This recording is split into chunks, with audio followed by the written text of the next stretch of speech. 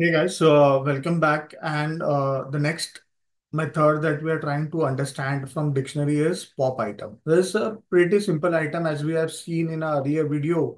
Pop is used to uh, the pop method, which we saw, in my earlier video, is used to pop a specific key and item from a dictionary. Yeah. So same way, Uh, we have pop item method, which is used to remove and return an arbitrary key value pair from the dictionary. Okay. Let me first show you the syntax and then we'll try to understand what it does. Yeah. So let me put the syntax here over here.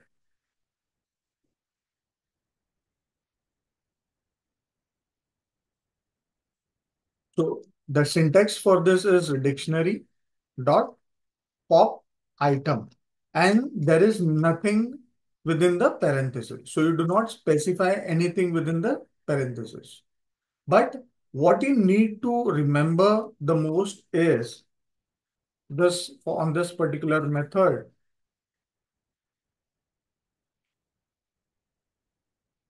Is when you call pop item, it removes and returns an arbitrary key value in the form of tuple.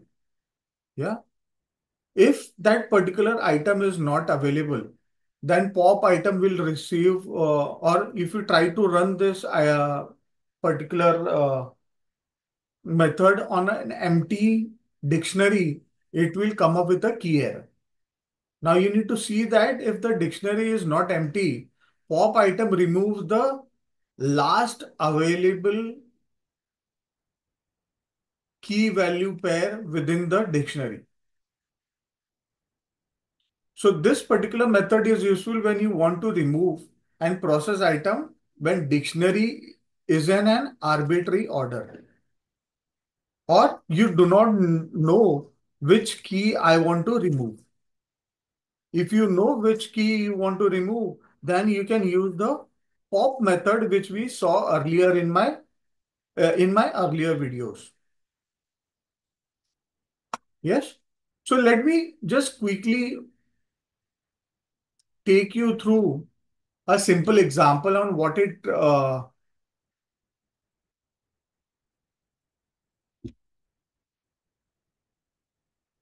how it removes an arbitrary key and uh, shows as a tuple.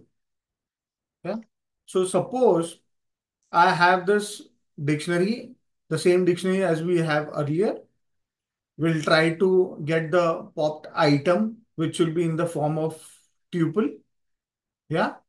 We'll see that item and the updated dictionary. Okay. So let's see. You can see this.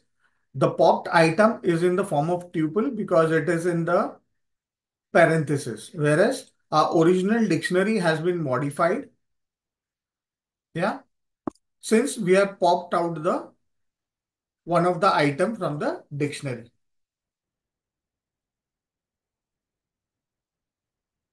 Now you can see here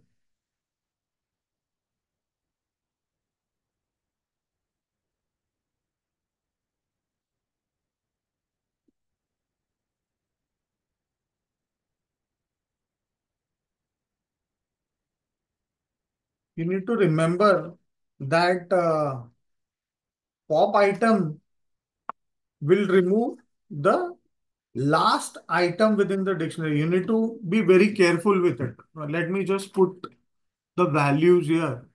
I'll show you what happens. Here you can see any time I try to run this particular query, it will always remove the last item which is added within the dictionary. Yeah. So the first thing that we saw, it, it stores this particular value within a tuple. Second, you need to see to it that it pops only the last item within the dictionary. Yeah. And you can retrieve that item using the values. So you can store it within a variable, the popped item within the variable, and you can uh, use it uh, as and how you require it. I can also have keys and key and value separated from the pop item. Yeah. How we can do this? I have this dictionary, as I said, popped item, key and value. See how I'm storing the value right now. Previously, I am I was storing the value as one value, which was as a key and uh, value together as one item rather. Here I am having two variables, key and value, in which I'll be storing the keys and values of this popped dictionary, a popped item within the dictionary. So C and 3 should be shown separately. Here you can see this. Yeah, so this is how you can retrieve the key, uh, key and uh, the value pertaining to that key separately.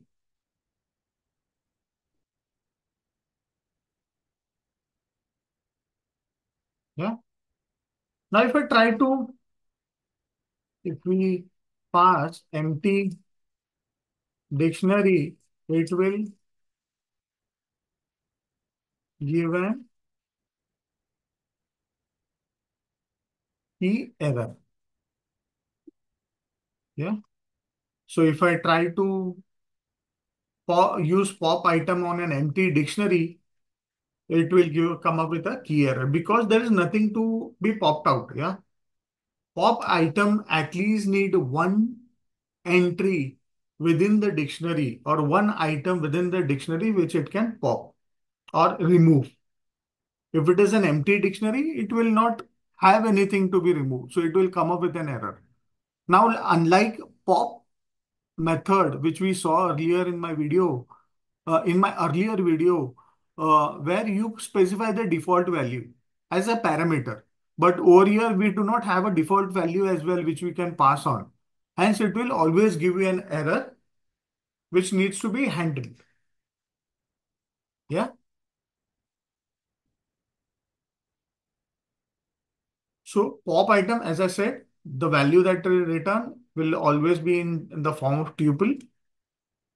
You can store it in a variable. You can uh, the popped item will be always the last item within the uh, dictionary. Yeah, and you cannot uh, use it on a empty dictionary because it will come up with an error. Hope you understood this concept. Hope you like this video. Uh, do like, share this video with uh, uh, with your colleagues who want to learn Python. Do subscribe to my channel if you like to get such kind of informative videos directly to your inbox. Uh, we'll always love to have those comments from you so that uh, we can improve on our content. Yeah. Hope to see you in the next video. Thank you so much.